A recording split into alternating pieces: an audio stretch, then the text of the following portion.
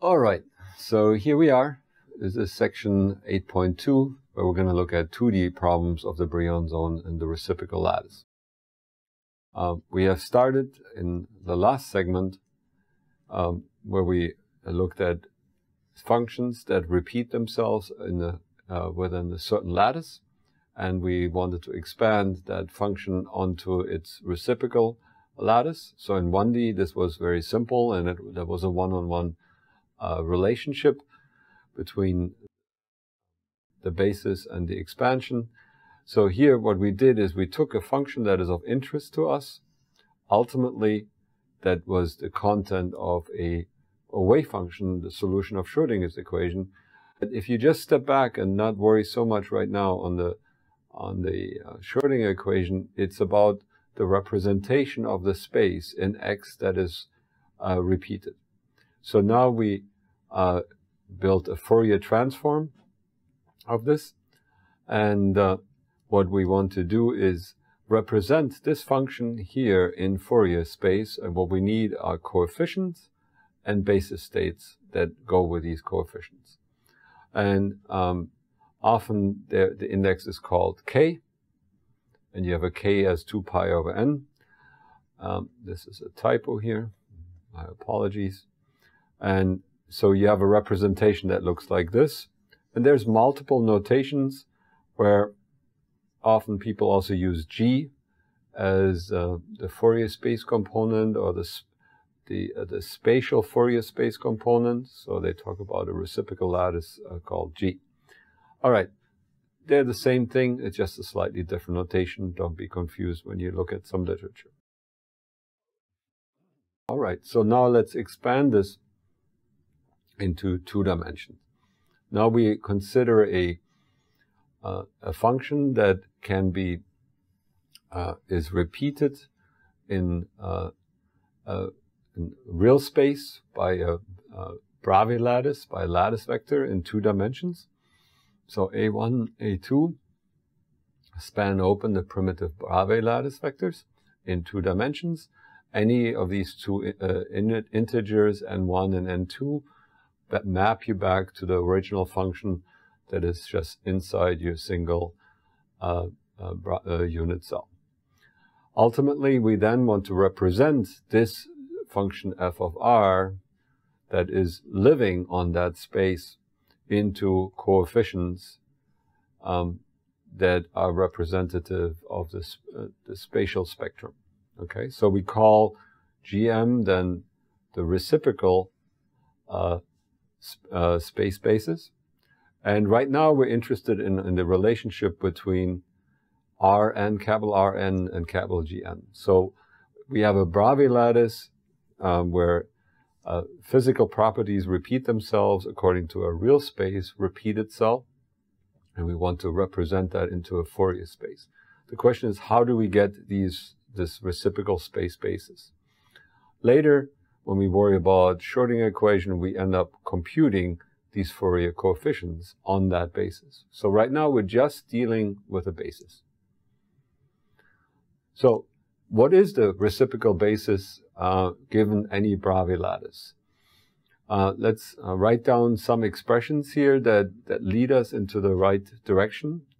So if we want to expand the function f of r in terms of uh, reciprocal base spaces like this, and we know that f of r repeats, we can uh, we can plug in the term here, and we know that this these two, uh, the left and the right hand side here must be identical because the result is physically the same.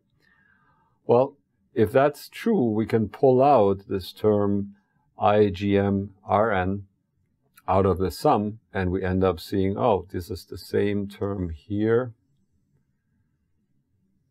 and here.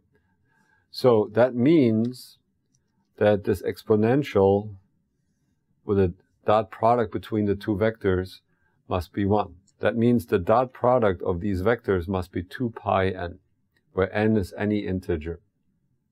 All right.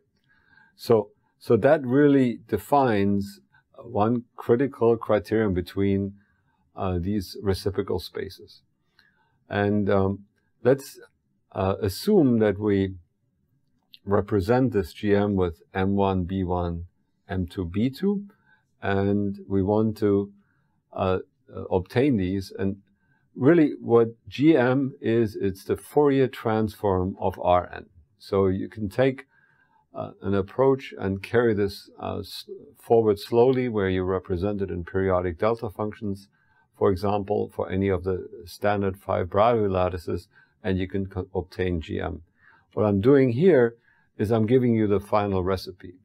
How do you get from A1 and A2 to B1 and B2 in the respective lattices? So here is the recipe for B1.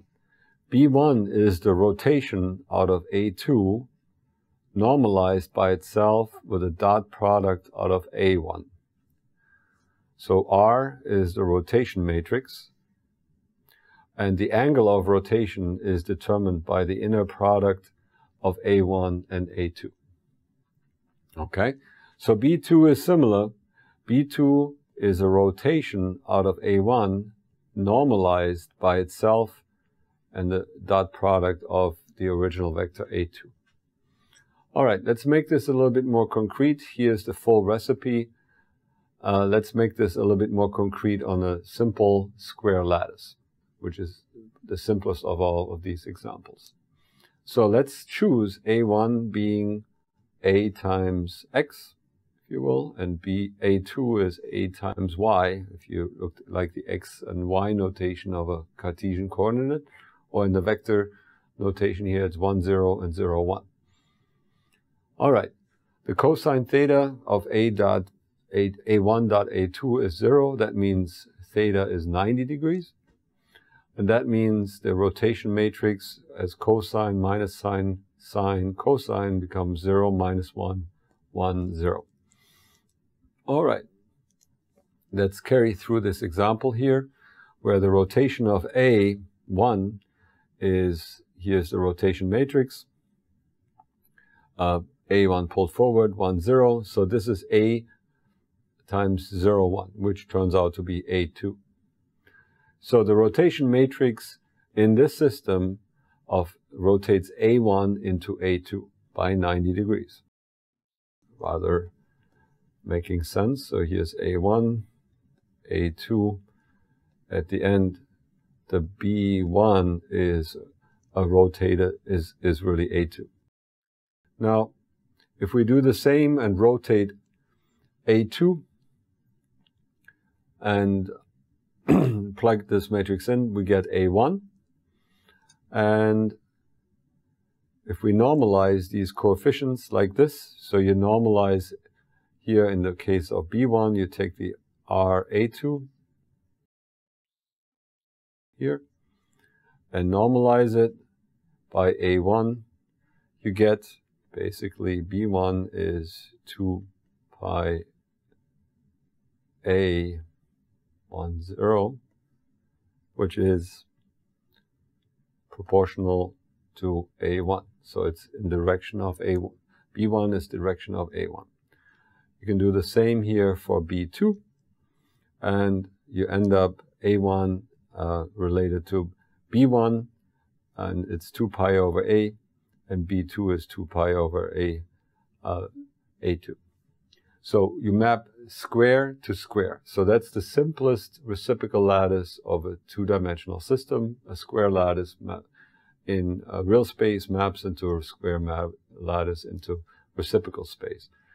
And the Brillouin zone is, of course, then also identical. You can obtain it with the usual uh, Wigner-Seitz uh, methodology, where you uh, draw lines to the uh, nearest neighbors, and you segment those lines in half, and that gives you the uh, uh, the Brillouin zone.